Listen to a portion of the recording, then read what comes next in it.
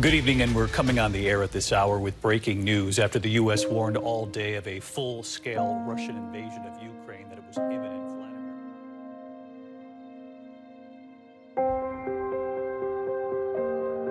Vladimir. The Ukrainians' bravery in defending their territory and democracy serves as an inspiration to us all. Since Russia launched its military invasion of Ukraine, we hear Taiwanese people say it loudly to us. We care, and we want to help. We in the government hear it and took immediate action. The response has been overwhelming. 再次感谢全台湾帮这么大的忙，我非常非常感动。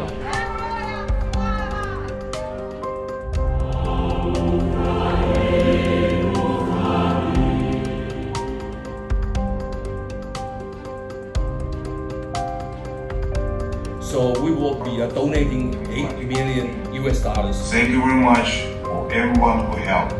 І цю допомогу ми залучаємо від народу Тайваню.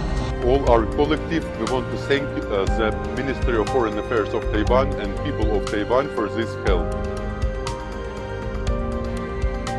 But this is a great political support today for your country. 800 тисяч доларів, які ми отримали. Велика вам подяка. яку вислов- висловив і тайванський народ, і уряд. The rallying cry for democratic countries must be one for all and all for one.